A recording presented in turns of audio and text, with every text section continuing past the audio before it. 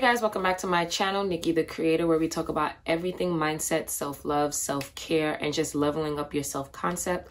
Before we jump into it, make sure you click the link to my VIP group. I just dropped my third episode of my Queen Mindset podcast. And if the VIP group is not necessarily what you're looking for, I do create custom affirmations and I do have a manifestation guide down below. All right, so let's get into it. All right, so today we're going to be talking about how law of assumption, just mindset work in general, changing my thoughts, changed my life. If you don't know what law of assumption is, that's what I primarily teach off of. I'm not just based on Neville, but I do teach about mindset work, neuroscience, self-love, self-care. So my t- I teach about all of those topics, but law of assumption is ultimately how I changed my life and how I changed how I view myself. Law of assumption is basically your dominant thoughts is what reality you will see reflected back to you. So the assumptions that you have about people, things, places, all of that is what will be reflected back to you. Your assumptions and beliefs were um, ingrained into your subconscious from youth, from a youth, from your parents, from guardians, from school, from music, all of those things, because it is impressed into your subconscious from the earlier ages. That is why they say in psychology, or even you can see it without psychology, that's why they will say kids can soak up things. That's why when you, a kid will hear you curse, they will automatically repeat the curse. That is the easiest stage to, to impress your subconscious mind. That's why children, it's so easy for children to learn second languages, all of that good stuff. All that psychology, factual things, right? So, when I stumbled across the law of assumption, I was actually going through a rough patch in terms of relationships and money. My money beliefs and my relationship beliefs were being reflected back to me in unfavorable ways.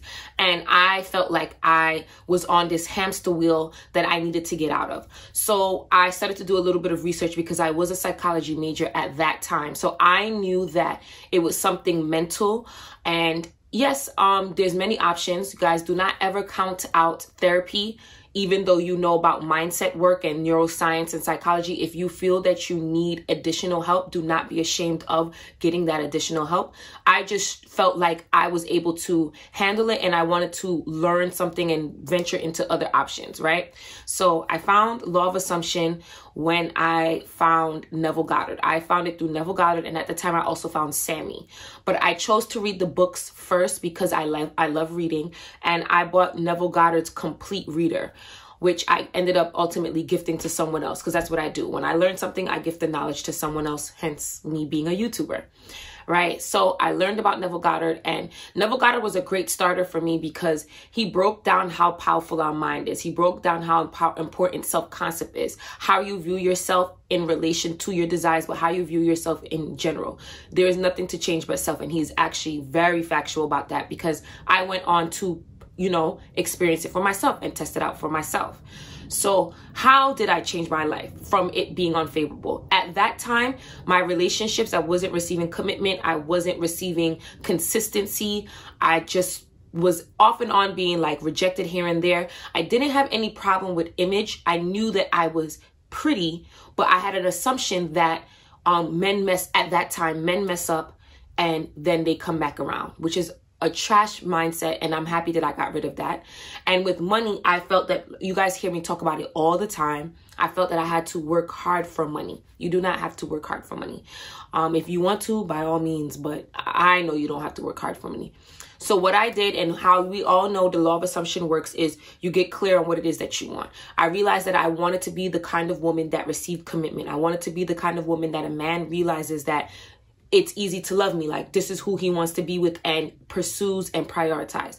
I realized with money, I wanted to have an abundant money mindset where I wasn't acting broke, where I wasn't clenching anytime I had to pay for little things like like groceries or things for my hair or things for my body or just food in general, right? So I got clear on what I wanted to be, who I wanted to be.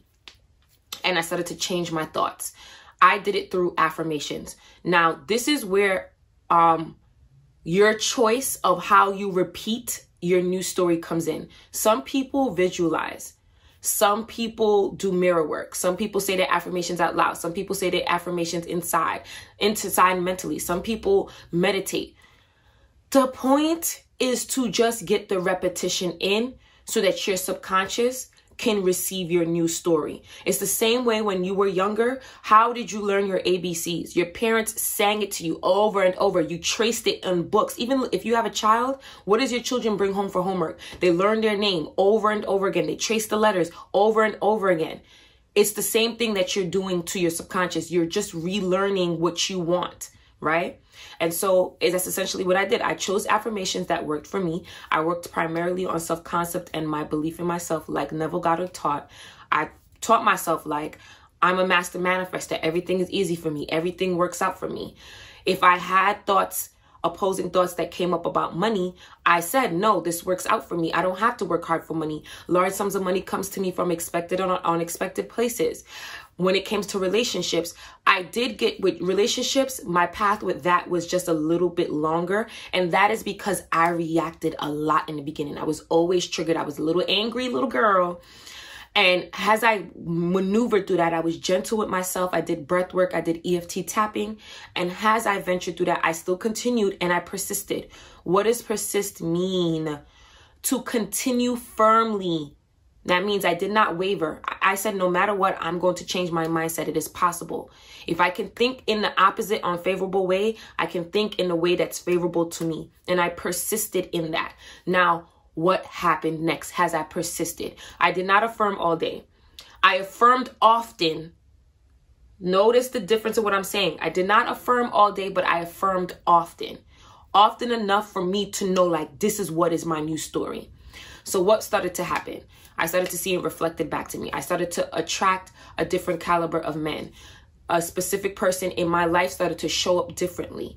Money opportunities started to come to me without me having to do super hard work money was just being gifted to me. Money showed up in the mail. I actually have a video of how I got a check in the mail before. That should be, I'll tag it up below. If I don't, it's on my page, right? I just persisted in this new story that I have.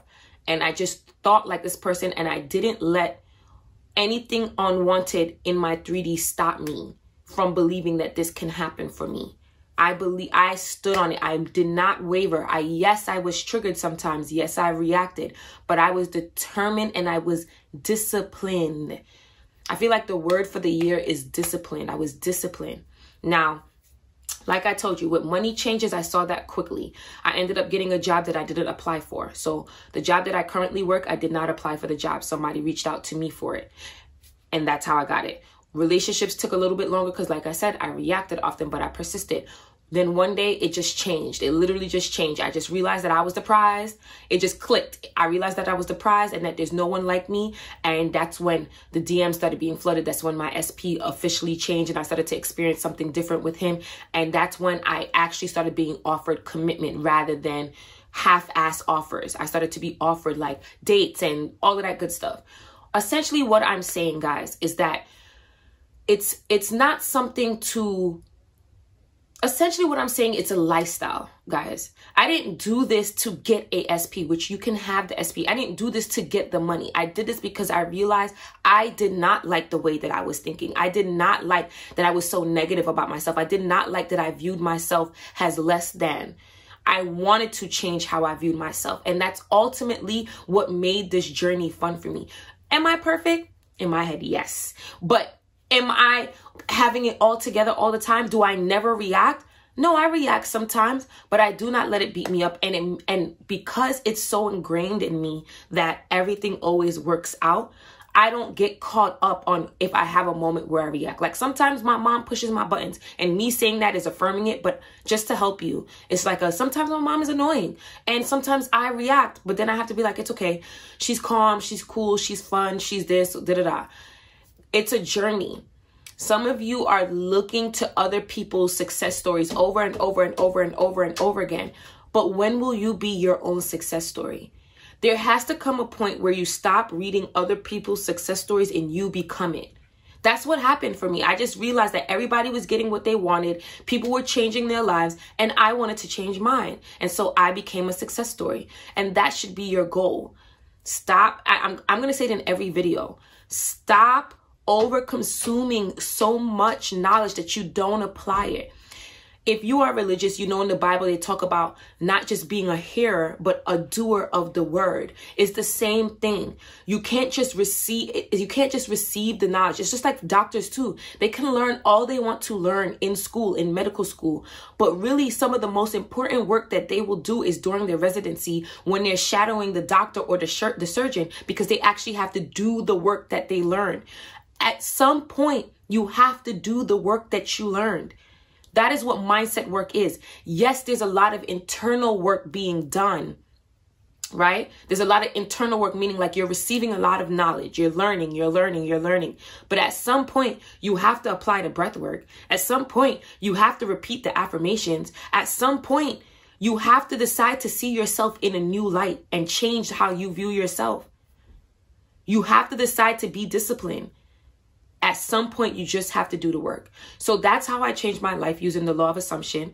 I still do i still believe in the law of assumption. I do believe in self-care. So i do put action behind some of my stuff. So yes i, I take care of myself. I do my hair. I do my nails. I spend time to reset. I set boundaries. So i believe in self-care and self-love as well right? So i pour into those areas of my life. I heavily believe in self-concept.